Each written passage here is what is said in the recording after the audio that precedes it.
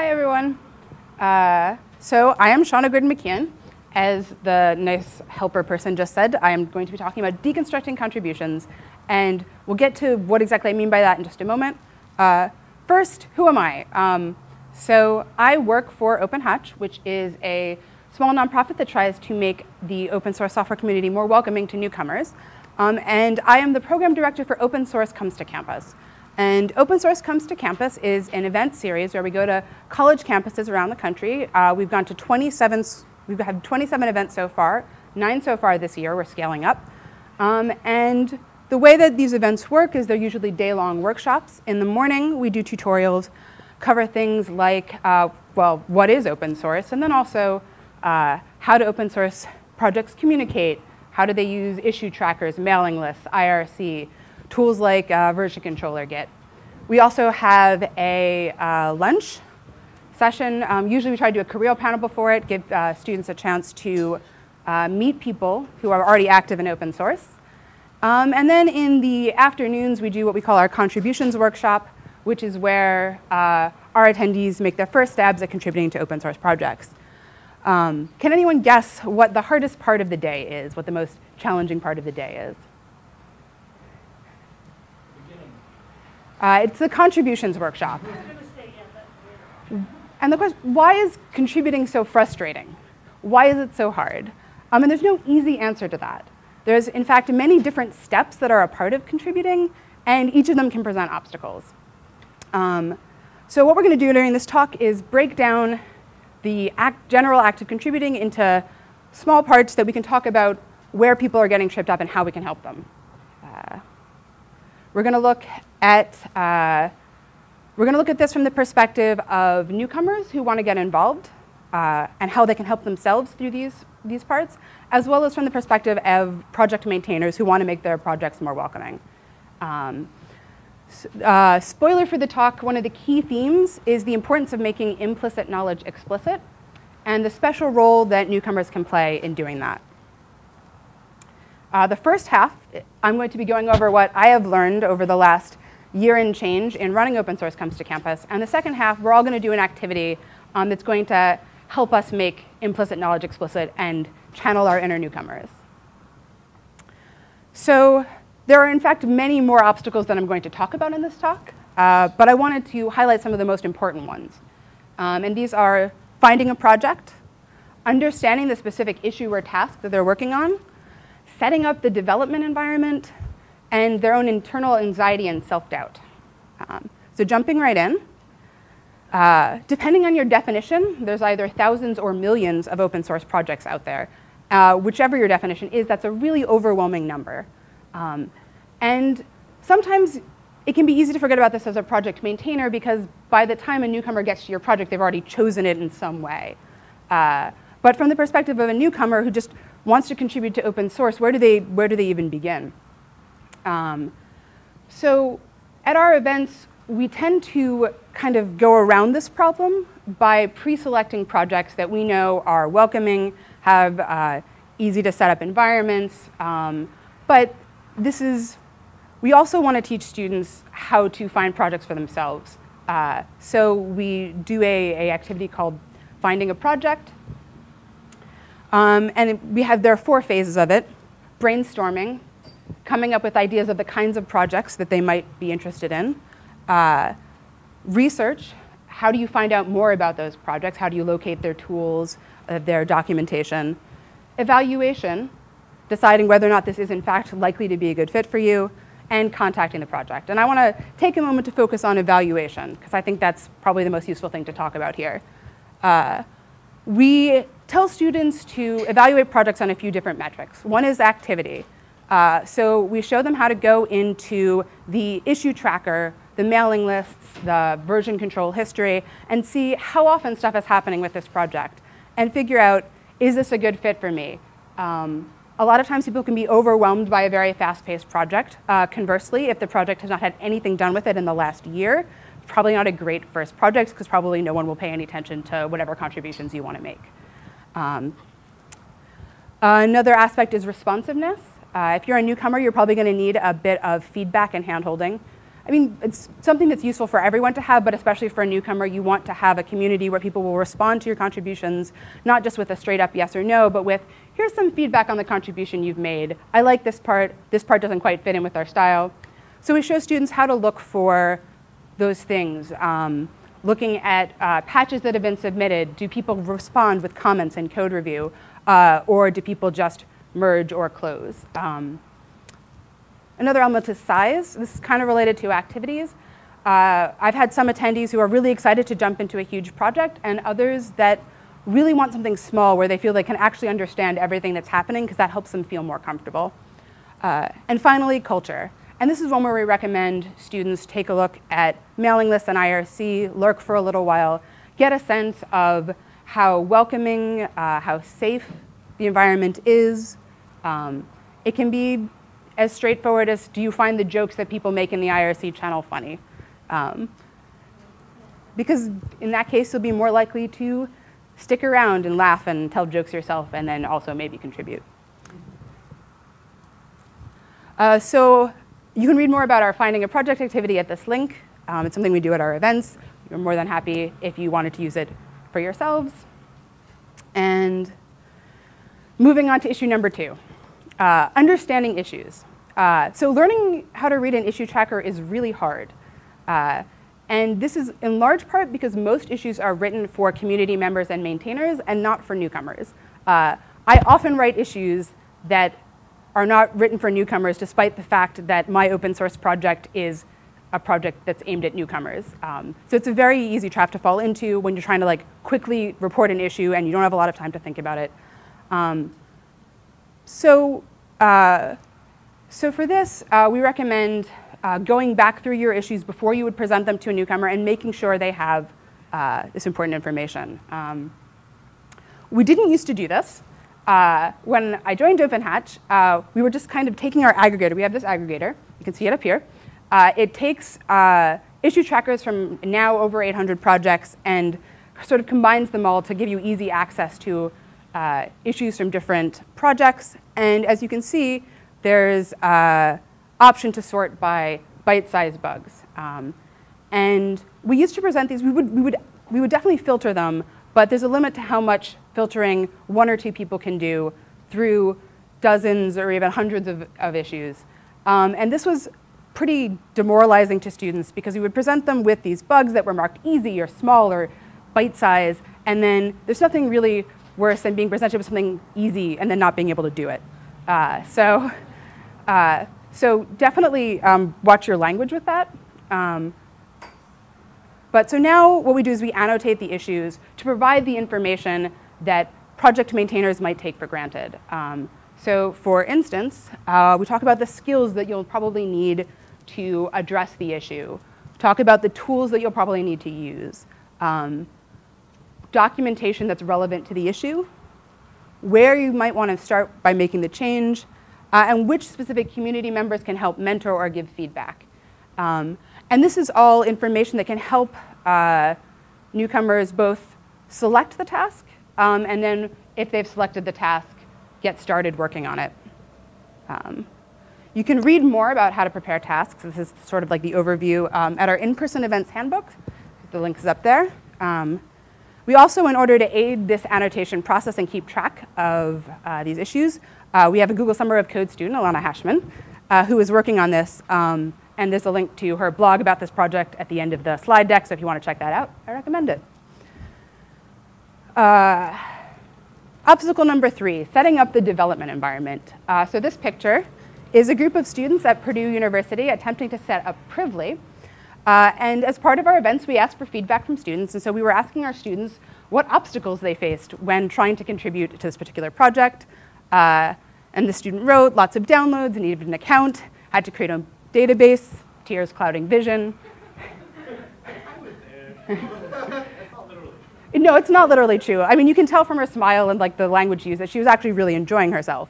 Um, and, uh, but not everyone really enjoys having trouble setting up development environments. I mean, some people totally do. I've met them, they exist. I'm not one of them. Uh, and there's actually a really happy ending to this story because we wrote about this in our blog, and then the Privly people, including Jen Davidson, were like, oh my goodness, we should improve our setup process and did a setup documentation sprint and I think fixed like two dozen issues in their, their setup process and it was actually amazing.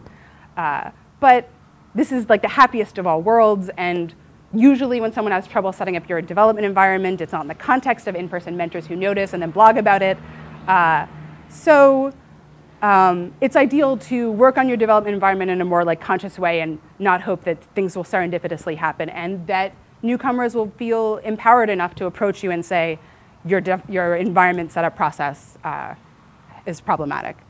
So uh, from the handbook that I mentioned earlier, we have a set of advice about what you can do to make your project easier to set up, including, and again, this is about making implicit knowledge explicit, uh, what virtual environments you might need to, to run on, what dependencies you need, how to download the source and how to pick which source to download, how to build the project, how to test the changes you make, and how to contribute them back to the project. Uh, we also should recommend uh, including contact information in case people get stuck, an overview of the project to help people situate what they're doing, uh, and just generally as much documentation as possible. And you might be thinking to yourself, wow, that's a lot of information, Shauna. Uh, so one thing that we've started doing is what we call setup sprints. And this is where we, in real time, usually via IRC, have a project come and we match them with basically whoever, whatever volunteers of various experience levels want to try setting up their project. And usually we get a whole bunch of issues that come up, and these can be reported directly to the person who's hanging out with us in IRC, who makes the changes and says, okay, try again. Um, and through this method, you can take your setup process from zero to uh, 10, 100, from on a zero to 10 scale, you can take it from zero to like eight or nine uh, quite quickly. Um, yeah. Uh, and finally, the obstacle I want to uh, talk about that, that we've come across is anxiety and self-doubt. And these are, in addition to technical obstacles, there are a lot of psychological obstacles that newcomers can face, and that can make them hesitant about dipping their toes in the waters of open source. Um, and so as someone who's been at, at these events and talked to a lot of newcomers, um, also via email and people who show up on our IRC channel, uh, I've heard these kinds of comments dozens of times. Uh, a lot of insecurity, a lot of not necessarily understanding how they fit into the open source world. Uh, for me, the key, what I found is the key is to validate these feelings as reasonable at the same time as you help someone make, more, make themselves feel more comfortable. Um, so for instance, if a student says, I feel like I'm a burden on project maintainers, say, that's a really uh, empathetic thing of you to think that's really understandable. I sometimes feel like a burden when I feel like someone's helping me too much. But, and there are projects where you might be a burden if you like went in there and like kept trying to get someone to help you when they didn't want to.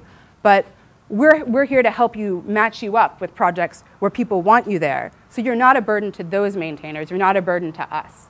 Um, or if someone says, I'm not a coder, so I have nothing to contribute, yeah, there's totally a stereotype of open source as being all about coding. I used to think that myself, but that's not actually true.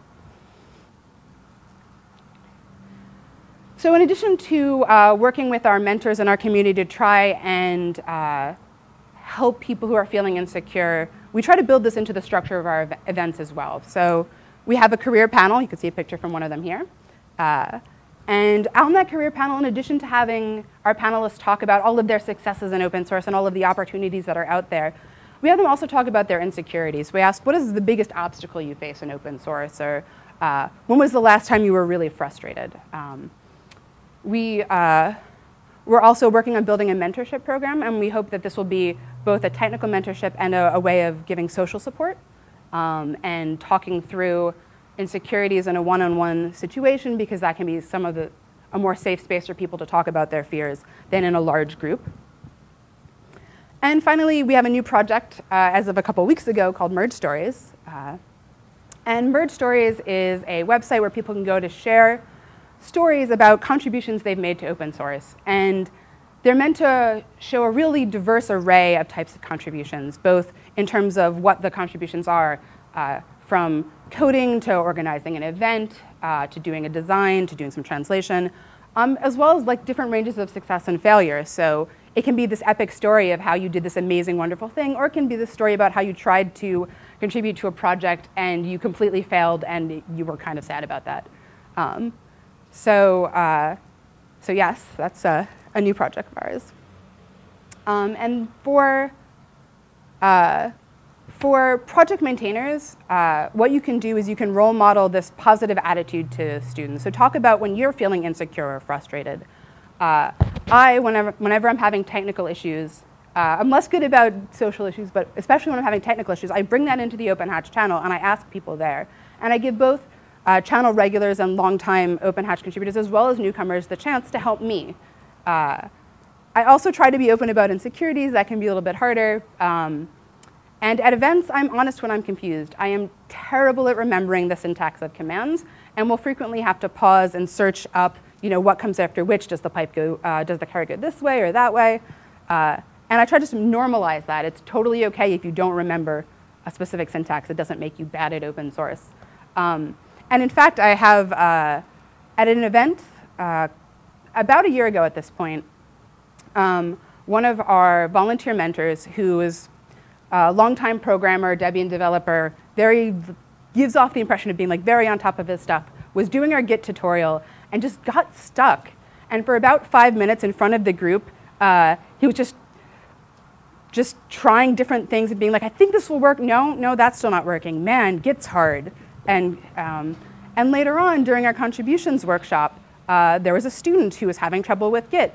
And I was about to reassure her that you know everyone has problems with Git, and she said, "Well, you know, if that guy who's been programming since forever can't even use like has trouble with Git, how am I supposed to be able to do it after 10 minutes? This is fine. Like this is this is totally to be expected." Um, which was great. It was the healthiest attitude I've ever seen anyone have towards Git, and it was because our and it was because uh, the volunteer mentor, totally unplanned, had trouble and role modeled being, well, you know, this, this just happens. This happens to everyone. Um, and additionally, the newcomer was role modeling a positive attitude too. So this is not just something for experienced people to role model, although I think it's imp very important for experienced people to role model it and people might forget uh, and just enjoy the sort of high of understanding how certain tools work without talking about the, the little pockets where they still don't really understand what Git is doing. Uh, but the newcomer was also role modeling a positive approach. Um, and I think that really helped the other newcomers who were there at the event. So that's something that other newcomers can do. Um, and hopefully, uh, with all of these, uh, with all these efforts, people can feel uh, more comfortable about diving into open source. I like the cute puppy dogs. All right, so I already spoiled this, um, but there's a pattern to the advice that I've just given you. Uh, make implicit knowledge explicit, whether that's the implicit knowledge of where in the code base to look for the solution to this particular bug, or the social knowledge that everyone has trouble with this particular tool, or everyone has issues with, or most people have issues with feelings of insecurity. Um, make that explicit, make that a part of your culture. And use newcomers to do this. In each of the steps I've just talked about, newcomers can play an important role uh, in making this easier for you and your community and your project. Turns out newcomers have a sort of superpower. They can tell when uh, implicit knowledge is not being made explicit because they get really confused. Uh, so if you empower them to respond to that confusion with, hey, I don't understand, can you explain this to me? Can we document this? Can we make this part of our process? Then you've turned what feels to them like this awful burden uh, into some way that they can really help the project. Um, so engage newcomers, make sure they know how valuable they are, and if you can, formalize that. So have specific tasks that newcomers can do um, that newcomers are really valuable for, whether that's testing documentation, testing the installation process, checking for usability. Uh, formalize those and direct uh, newcomers into them into those spots, uh, especially if the newcomers aren't showing up with like, I have this specific thing I want to work on. I don't recommend like discouraging them if they already have a specific thing they want to work on. But I found that a lot of times newcomers will just show up and say, I want to, I want to help, I have no idea how. And so this can be a good place to, to put them. Uh, great, so my advice is basically engage newcomers, use newcomers, uh, but maybe you don't have newcomers. Maybe you just have yourself right now. Uh, good news, you were once a newcomer too. Uh, so you can channel your inner newcomer. Uh, And we're going to practice doing that with an activity. Yay, activities. Um, so uh, we're going to do an activity that uh, I have designed. And we're going to use this activity to help figure out where our implicit knowledge is and to brainstorm ways to make that explicit. Uh, so we're going to start uh, with a piece of paper and a pen, and I have a bunch of those. You can actually use your computers as well. Basically, I want you to be able to write stuff down is the key. Um, could I ask someone to help me pass these out? Great. Um, then if people want pens,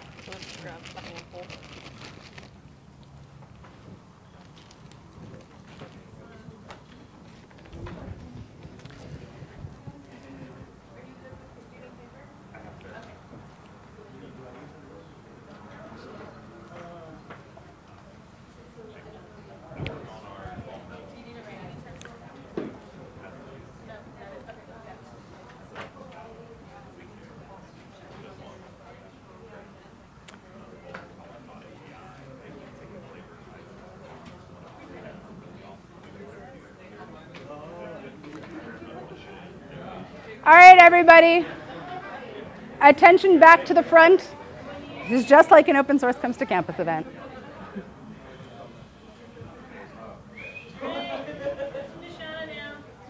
Someone who can project more? Excellent, thank you. Uh, so let me just outline the steps of the activity before we begin. Uh, so you're going to have a partner. Uh, at least one of the people in your pair group I mean, you can do threes if you need to, it's okay. At least one of you should have made a contribu contribution to an open source project. If you're clustered next to a bunch of other newcomers, go out, meet new people on the other side of the room. Uh, is there anyone who's, uh, I guess, take a second, find your partner, and if you're both newcomers, raise your hand and I can help you. I realize this is a socially awkward thing, and I validate your, yes? No, I by no means am specific to code. By yes. What do you mean by newcomer? Like, A newcomer, I am defining now as someone who has never made any kind of contribution to an open source project. So, uh, and I guess to help define what I mean by contribution, this can include helping a newcomer. It can involve uh, verifying a bug in an issue tracker. It can involve giving feedback, uh, even informal feedback, to a project maintainer. Uh, basically, we're going to be talking about a specific instance, and I want you to be able to have a specific instance to grab onto, at least one in your pair. Um, so if you can think of one thing that was a way in which you benefited an open source project, that's good enough. Um, is there anyone who feels like they don't have that in their pair group? All right. All right, so the If you're shy about this, I can also go around and help you figure stuff out. Cool.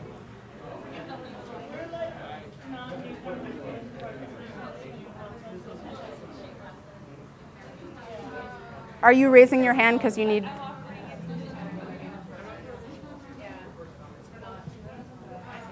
I think most people have in here have made a contribution, so I think that's why there's not hands being raised.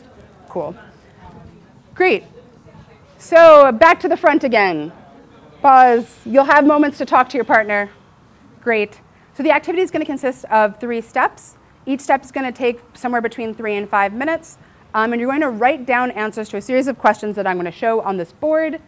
Uh, once you feel like you're ready to answer the questions, your partner is going to ask them to you out loud. I should hear like a buzz of sound. Um, and this should force you to actually answer the questions and not just skip them because you don't know. So you should either have an answer to give to your partner or to be able to explain why this particular question does not apply to your contribution. If your partner does not understand your explanation in response to the question, they should say, I don't understand. Ideally, they can say, I don't understand this part of it. Um, so you should be having an actual conversation with your partner about, about your contribution. And again, this will take three steps. Uh, please be mindful that when I call attention to the fact that we're going to the next step, uh, and not get completely lost in talking with your new friend about your contributions. Yes? So you're each, uh, so if you have a newcomer in your group, that person can just work with the maintainer and help them do an extra good job on the activity. Um, And if there's multiple people, you should be each doing this. Um, so here's step one. Think of a contribution you've made. Uh, you should try to definitely get to the bold questions, and if you have more time, you can talk about the non-bolded question, which is the second set. All right, five minutes, go. And feel free to raise your hand if you have confusion and I can answer it.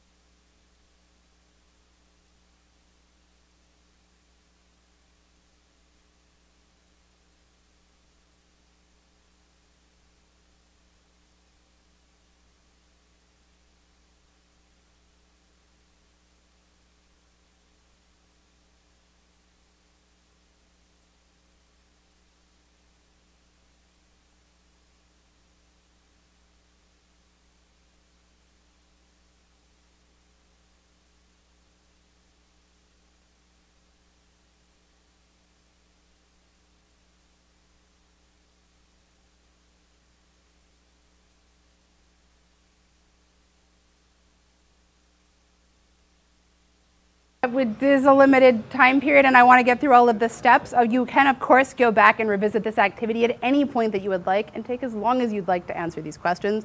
I also have backup questions in addition. Uh, but I tried to keep things reasonable. Okay, so that was step one. Um, hopefully you both got to at least talk a little bit about uh, step one. Step two, what did you need to know to make the contribution that you made? Again, the more not mm, the questions I want you to try to answer first are on the top in bold, and the, uh, the other questions are not in bold on the bottom. Um, and again, try to get to everyone. You have more of a sense of how long these five minutes actually are this time. Uh, all right, back to it.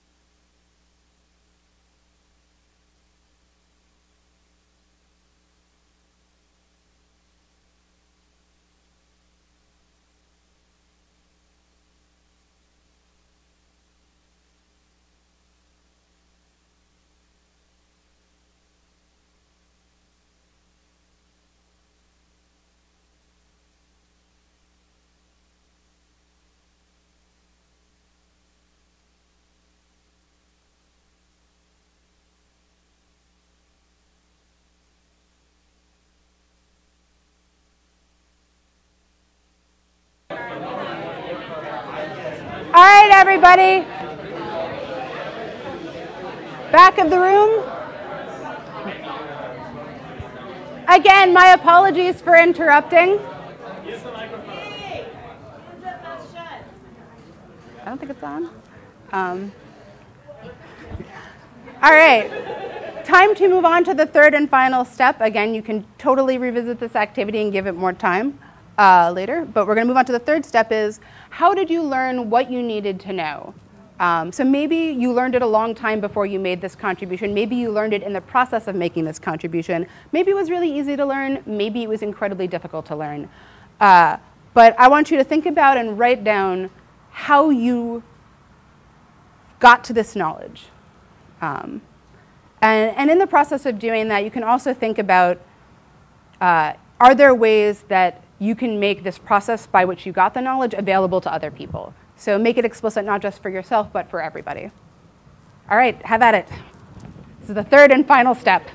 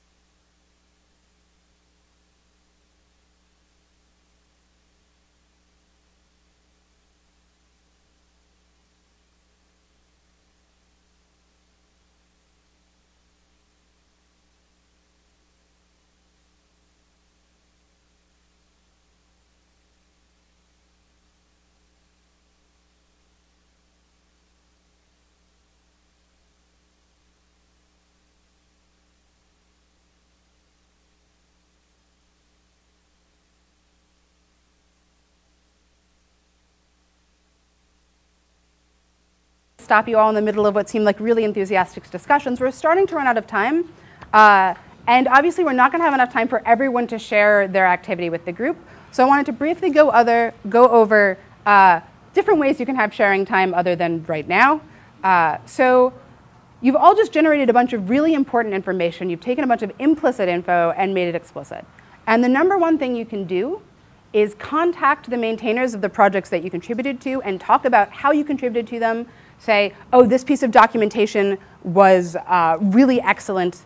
It's a great resource to point people to. Or uh, this documentation, I don't know, it didn't really work for me, but I found this other website that had that documented the process. Maybe you want to link to it, um, or whatever the particular piece of implicit knowledge you uh, that you have made explicit.